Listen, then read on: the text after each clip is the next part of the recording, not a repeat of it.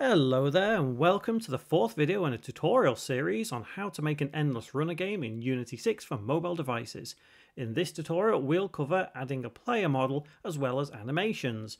Remember to subscribe and click the notification bell to stay up to date with every tutorial I upload and feel free to leave a comment and drop a like. So at this moment our player is quite literally just a cube right here. And what we're going to do in this tutorial is we're going to explore something created by Adobe which will allow us to import an actual player that's usable in this game. And the way we do that is we head to a place called mixamo.com. And if you head over there, uh, you need to create a free Adobe account. If you've already got an Adobe account, you can just sign in with it. And what this website is, is a real cool, quick, easy way to download models and animations. So once you're logged in, head to characters and you can pick any one of these characters, like literally any of them at all. Uh, whatever suits you and your style of, of game. There are quite a lot of different characters that you can pick from. So what I would recommend is just have a quick look through and pick one that you think fits. For me, I think this character fits quite well for what I'm going to be aiming for. So there's our character model. The next thing we need to do is find the animations for her. So let's start by going to animations and there are a lot of animations that you can pick. So let's start by looking for running. So that's going to be our fundamental animation. So if we search for that and let's have a look through some of these uh, animations. So let's take that one for example and you can see a preview of it over here. What we do need to do is tick in place just here. And the reason we're going to do that is because we want to be able to control the movement ourselves. We don't need the movement to be in the animation. We just need the animation to be itself, which is this. So once you've got a running animation and the character, you now need to click on download up here. But it's not just as simple as downloading things. Best way to do this is to select a format and change it to Collada and make sure it's with skin and then click download.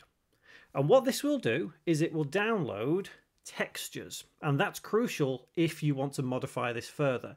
It's not strictly necessary to do this but I always like to have those textures on hand just in case and you can see it downloading there. So once they've downloaded you can see it's there open up that zip file and you'll see a folder called textures. The next thing to do is create a folder which you can then import into Unity. So head to another folder that isn't in a zipped folder and create a new folder. I'll just call this my player. And inside that folder, what you need to do is drag and drop this textures into, oops, into there, like that. Next thing, we need to actually bring in the models. So if we head back to Mixamo, click download again, and then change the format to FBX for Unity with skin, download. And what that will do is it will download this model in an FBX format, which is usable in Unity. So once it's done that, drag and drop this into that same folder. So we have my player right there. And I'm going to use one more animation. So the animation I'm going to use is going to be um, something where we can run and stop. So let's see what we can have. So let's have it as uh, stumble. I can't remember the actual one I uh, used. It might be stumble backwards. Let me double check because I've already pre-done all of this, so you don't need to uh, worry about that. So I've used falling back death. So that's going to be the animation we use. Obviously, you can use any animation you want. So falling back. So this animation right here. So essentially, when our character hits something, that animation is going to play. So now we click on download and FBX for Unity again, click download. And once we've done that, same again, drag that into your folder. So there it is. drag that into my player folder.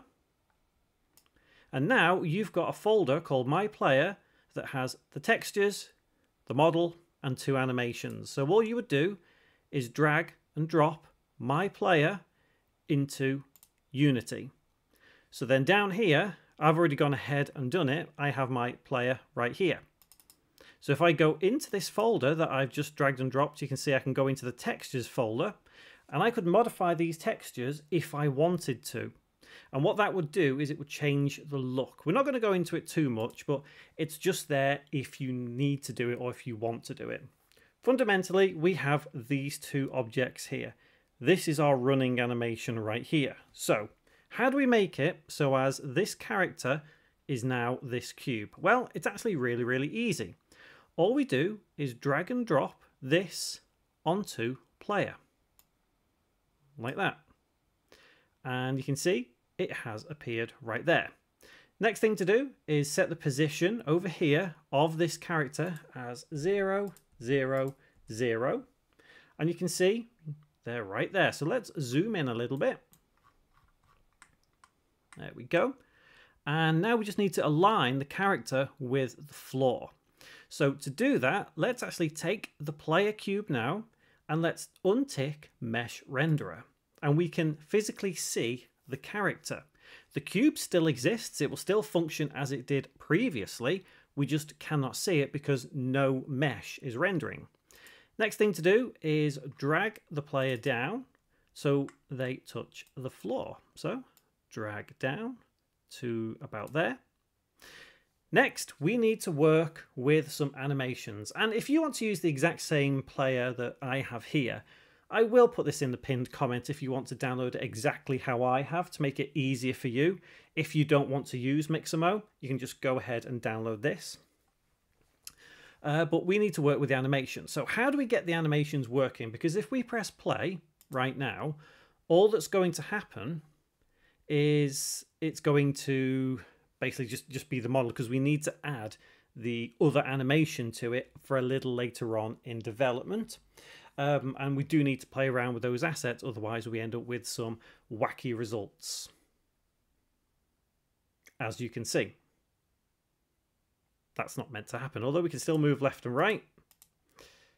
That's not the result we want. So how do we get these animations to work on our character? Really, really easy. So if we go to animator, you can see that it is empty for our character. If we go further down, you can see that there are different options that we can use for our character. Uh, we could change things, but there's nothing there animation-wise, even though we imported that animation. So what we need to do is these models, click the arrows next to them, and then find the triangular icon. This represents the animation. What you want to do is click it, hold control, and press D. What that will do is it will create a duplicate and it will extract it out of the model. So we have the running animation. Let's do the same now for falling backwards. Hold control, press D. And then we can press the arrows again to collapse them. And we have two animations. Now, with a running animation, what we want to do is we want to tick loop time. What that means is this animation will continually loop. It won't just play the once.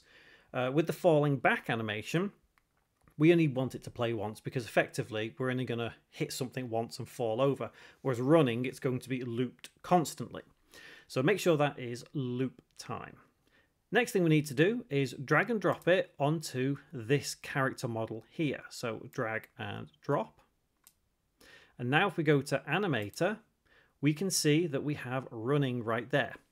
And this is where we can kind of, if you move this over here, it now gives us the option to add falling back.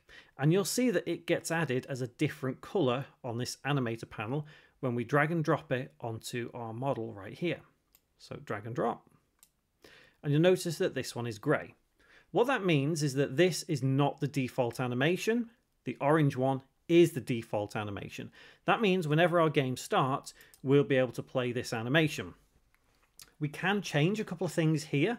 Uh, we could change the speed if we want to. Um, like you could slow her down, speed her up. You could even make her stop if you wanted. Um, but you can do it with any animation. Uh, if it go into a negative, it would effectively play backwards. But we'll go into a little bit more with this uh, later on in the series when we actually play different animations depending on what's happened in the game. Uh, if we go to the animation tab down here and click there, you can see how complicated that this particular animation is. There's a lot going on. And it's worth pointing out that any animation you create, you can literally create almost any animation in Unity, but it isn't recommended. This animation tab is more for simple use. Uh, but again, we'll do that a little later on in the series. For now, all that's important is the fact that we have added animations to our player.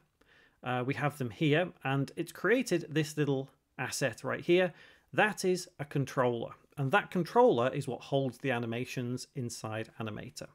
So if we press play now, in fact, let me zoom out so we can get a good indication of how she is running.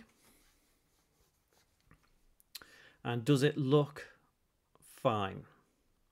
So she should play the animation of running as she's going along this section here. There we go. So it looks okay. I just think we need to speed up how she's running so it flows a bit better.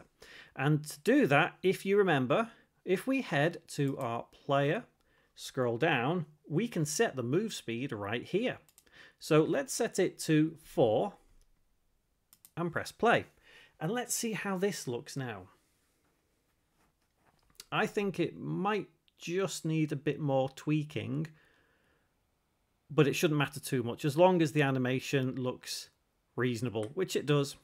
I think that works fine. Obviously, she's just going to run off into the distance, but that's not a problem at all because at the end of the day, all that we're trying to do here is to effectively add the model and the animations. But what we'll finally do is we will add the camera to actually move along with our player. And to do that, let's take our main camera right here, double click, and let's set it so as it's on the same kind of path as our player. And to do that, we just need to move it across one. Uh, let's bring it up, maybe one more. And let's pan the camera down a touch. So let's go on the rotation and pan it down to maybe there. Um, in fact, I think I think that'll do just for now. Obviously, you can modify this as and when you need to.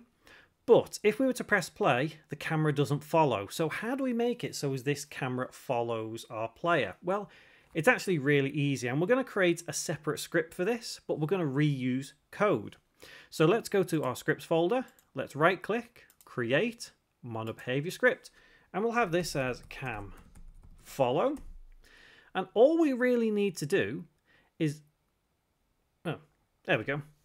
I wonder what happened then. It's open in Visual Studio. All we really need to do, um, I'm not sure why that's happened. Uh, we'll just reload it. It's not a problem. Yeah, again, third time lucky. All we need to do is make sure that our camera flows at the same speed as our actual player. So let's make sure that we do open this up. Give it a moment. There we go, running back end. So the original script that we wrote, we can effectively use that same line of code. So if we go into cam follow, and then if we put in here the same information as we put here. So let's have move speed. So we can copy this variable, place it into cam follow, and then we can take this line of code as well, which is the line that moves the object forward. And let's place it in update. Let's delete the annotations and void start. And let's set the move speed to 4. And let's save that script. And then head back into Unity. And what I'll do is I will put this script in the pinned comment as well if you want to use it. Uh, again, if the model, you want to download it, that's in the pinned comment as well. And the final thing to do is drag and drop cam follow onto the main camera. There. And you'll see that that then becomes a component. So if we press play, we'll see our character running and we'll be able to control left and right with the camera following right behind them.